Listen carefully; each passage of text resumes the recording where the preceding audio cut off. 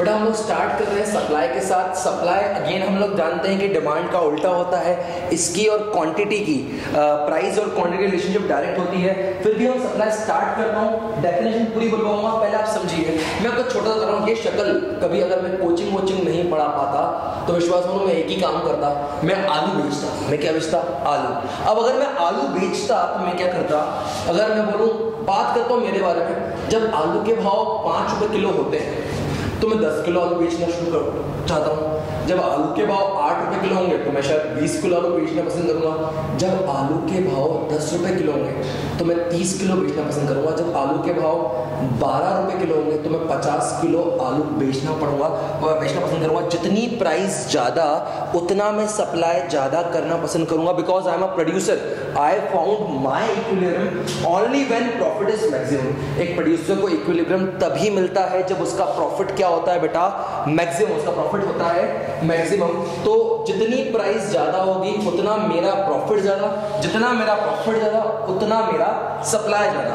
अब अगर मैं बात करूँ प्राइस और क्वांटिटी की, ये हर्षित। हर्षित भी आलू बेचता है। जब पाँच रुपए किलो आलू होते हैं, तब तो ये तीन किलो से ऊपर बेचते नहीं बहुत आलसी है। बात करें आठ रुपए किलो आलू पे ये पंद्रह किलो बेचना पसंद करता है। जब दस रुपये होते हैं तो ये बीस किलो बेचना पसंद करता है। जब बारह रुपये किलो आलू होते हैं, तब ये पच्चीस किलो आलू बेचना पसंद करता है। तो क्या सर आपका सप्लाई अलग है। मेरा, ये रहा बेटा, मेरा ए सप्लाई कब है? मेरा ए सप्लाई कब? ये रहा एस एस कब?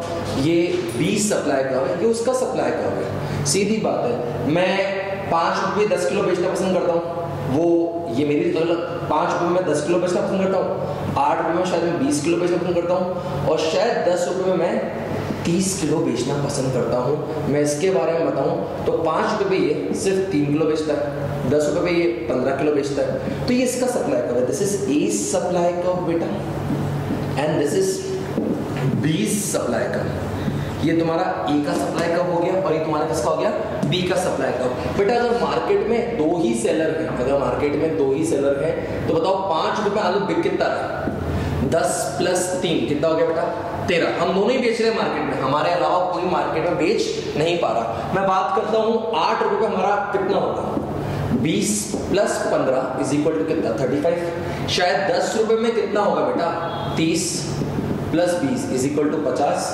बारह रुपए किलो आलू में हम कितना बेसन बनाएँगे पचास प्लस पच्चीस इज़ इक्वल टू कितना हो गया? Seventy five is equal to कितना हो गया? सेवेंटी फाइव तो सर, ये क्या बन रहा है? मार्केट सप्लाई कर्व बेटा मार्केट सप्लाई कर्व थोड़ा सा फ्लैटर होगा because market takes more time to respond than individual market takes more time to respond than individual अब यहाँ से तेरा सप्लाई शुरू होता है बेटा। सप्लाई मतलब प्रोड्यूसर पॉइंट ऑफ़ व्यू मतलब तू कंज्यूमर बन के नहीं सोचेगा, तू प्रोड्यूसर बन के सोचेगा। प्राइस जितनी ज़्यादा, उतनी तेरी क्वांटिटी ज़्यादा, उतनी तेरी क्वांटिटी ज़्यादा बेचने की इच्छा होगी। तो बात बताओ supply refers to supply refers to different quantities of a commodity supply refers to different quantities of a commodity that a producer that a producer is able and willing to sell at all possible prices at a particular point of time. Supply refers to different quantities of a commodity that a producer is able and willing to sell at all possible prices at a particular point of time. बोलो, यहाँ तक कोई doubt है कि बेटा, ये A supply कब हो गया, ये B सप्लाई कब हो गया, और ये क्या हो गया बेटा तुम्हारे पास? मार्केट सप्लाई कब? अगर यहाँ तक बेटा देखो समझ में आ गया तो मैं देखो आगे लेना चाहता हूँ लॉ ऑफ़ सप्लाई पे। बेटा लॉ ऑफ़ सप्लाई कुछ नहीं बोलता है। Law of supply refers to other things remaining constant quantity demanded increases with the increase in price quantity demanded decreases with the decrease in price other things remaining constant quantity demanded increases with the increase in price and quantity demanded decreases with the decrease in price बोलो कोई doubt तो नहीं आता अब अगर मैं एक level तेज ले और आगे चलूँ तो सिर्फ़ मुझे बताओ what are the factors what are the factors affecting supply of a commodity what are the factors affecting supply of a commodity तो अगर मेरे को तेरे को बताना हो what are the factors affecting supply of money तो बेटा मेरा एक कोड बना हुआ है। मैं बोल रहा हूँ P P R P E P P R P E G G P T T P N P N F F P इसको हम बोलते कैसे?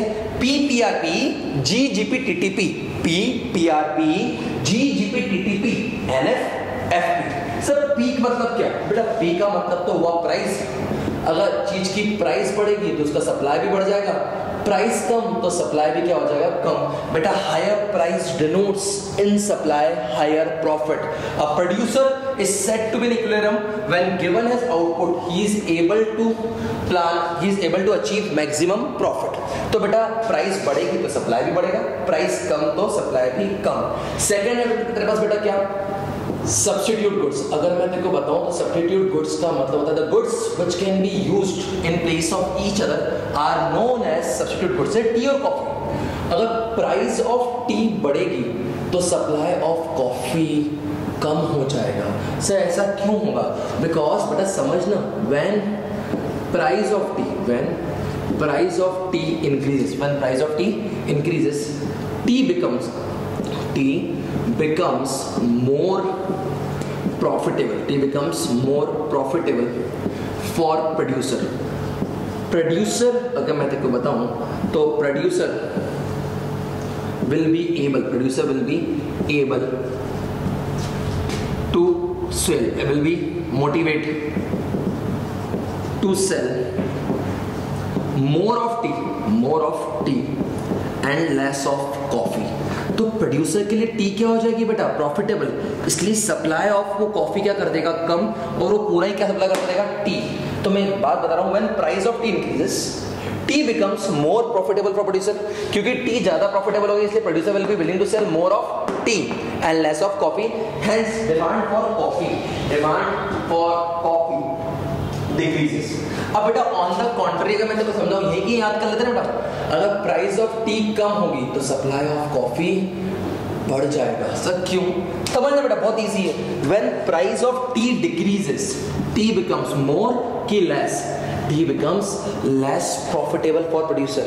Producer will be motivated to sell more of coffee and less of tea. Hence, demand for coffee decrease. Hence, demand for tea decreases तो अगर tea के भाव कम हो जाएँगे तो supply of coffee supply of coffee क्या हो जाएगा? बढ़ जाएगा। अगर टी के भाव कम होंगे तो सप्लाई ऑफ़ कॉफ़ी बढ़ जाएगा। बेटा, दूसरे गुड्स होते हैं complementary goods sir complementary goods are those goods complementary goods complementary goods are those goods which jointly satisfy one demand, which jointly satisfy one demand.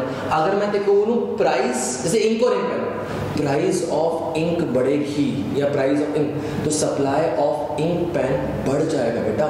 Sir ऐसा क्यों होगा? तो समझना वैन दो मिनट के लिए समझ, अच्छे से समझ। When